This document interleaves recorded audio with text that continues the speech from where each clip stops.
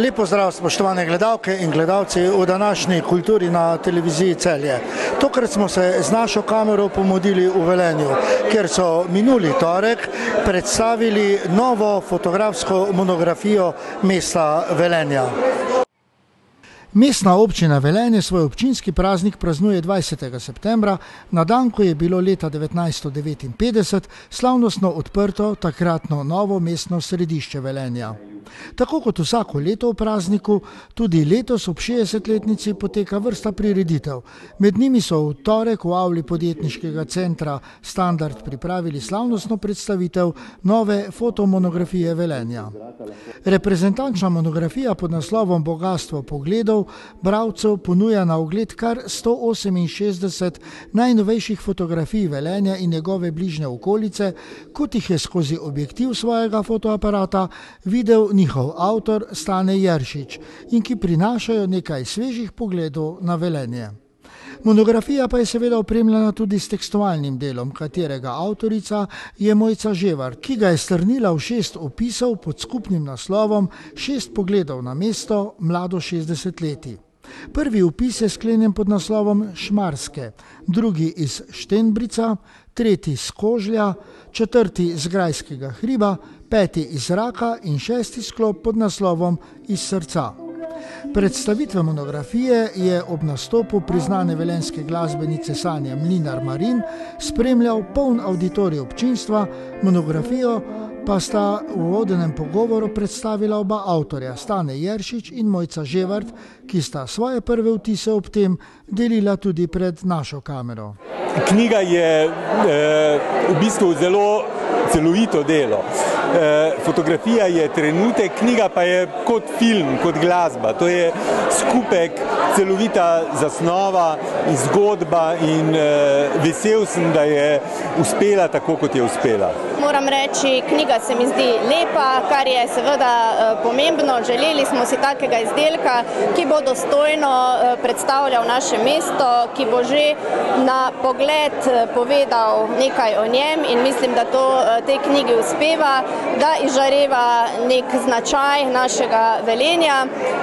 Tudi naslov, mislim, da je upravičeno tako, kot je, bogatstvo pogledov, saj knjiga prinaša res veliko zanimivih pogledov skozi objektiv priznanega fotografa, prinaša šest osebnih pogledov na mesto, ki podajo tudi nekaj dokumentarnih podatkov in tudi dragocen pogled na velenje izpod peresa našega župana.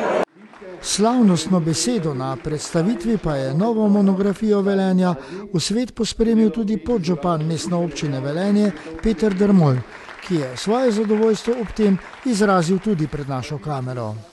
Ja, mi smo seveda počaščeni, da smo dobili to fotomonografijo po 17 letih eh, ob občinskem prazniku, ob 60. obletnici našega mesta. Eh, fotomonografija, seveda, ki skozi svoj, eh, na svoj način preko eh, fotografij seveda eh, kaže, kakšno je naše mesto in kjer se lahko vsak, ko, ki prebere to knjigo in pregleda eh, slikovno, eh, slikovno gradivo, seveda si sam ustvari eh, mnenje o tem, kako lepo je pravzaprav naše mesto. Tako da s eh, svojimi pogledi, s svojimi čustvi, ko spremljaš eh, in prebiraš to knjigo, eh, potem ugotoviš, da se te knjiga dotakne in da eh, je v Velenju mnogo, mnogo lepega, da se tisti, ki tukaj živimo, seveda tega zavedamo, eh, mogoče včasih celo premalo in da je potrebno to tudi preko eh, tovrstnih aktivnosti, tovrstnih projektov seveda spodbujati in prikazovati naše mesto takšno, kot dejansko je. Kot rečeno, sta monografijo vsebinsko oblikovala s fotografijami Stane Jeršič in z besedili Mojca Ževart. Stane Jeršič je s fotografsko ustvarjalnostjo pričel že v osnovni šoli in gimnaziji. V času študija pa je intenzivno ustvarjal okoljevarstveno angažirano in portretno fotografijo, s katero je posegel v sam vrh takratnega jugoslovanskega fotografskega področja. V letu 1980 je prodrl v evropski prostor s samostojnim predstavljanjem v številnih muzejih in galerijah, njegove fotografije pa so bile predstavljene v mnogih knjigah in revijah, danes pa ustvarja na fotografskem, video in multimedijskem področju. Mojca Ževart pa je, ker izhaja iz vrst starih velenčanov, zgodovino bit in utrip mesta spoznavala že iz malih nog. Po študiju geografije in zgodovine pa poglobljeno kot raziskovalka Inštituta za ekološke raziskave Eriko Velenje.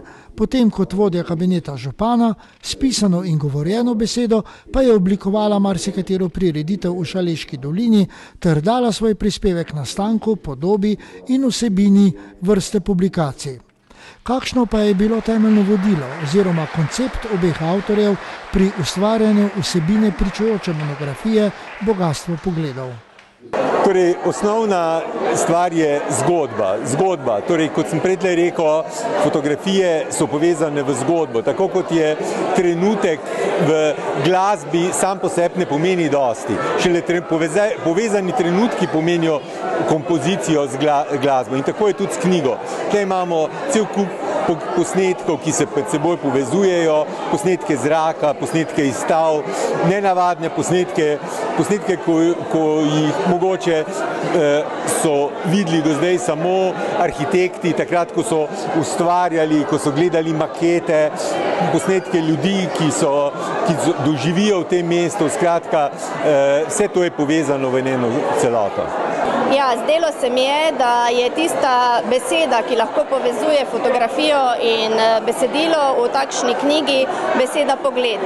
Ker vendarle pri fotografovem ustvarjanju gre za neke poglede na mesto, prav tako pa sem sama želela podati nekaj mojih pogledov na naše mesto eh, in zdi se mi, da se je potem kar nekako lepo izšlo. Vodilo pa me tudi to, da naj bo besedilo takšno, ki bo drugačno od tistih doslej, da se ne ponavljamo, torej, eh, da je takšno, ki ga sama seveda znam pripraviti. To pomeni, da ni preveč poetično, ker nisem pesnica, eh, pa da nekaj faktografskega vendarle pove. Eh, hkrati pa se mi zdi, da je vsaj sama tako gledam na to za bravca dragoceno, če iz besedila izve tudi to, kako je v mestu, v katerem bere živeti, kako ga čutijo domačini. Monografije pa ne bo možno kupiti v prosti prodaji, saj bo le na mestni občini Velenje, kjer jo bodo s pridom uporabili za protokolarna in reprezentančna darila. So jo pa bili deležni vsi prisotni na torkovi predstavitvi. Ja, eh, te fotomonografije ne bo mogoče eh, kupiti na eh, policah, ampak je to protokolarno darilo našega župana. Danes smo v imenu župana mestne občine Velenje Bojana Kontiča vsem obiskovalcem podarili eno knjigo.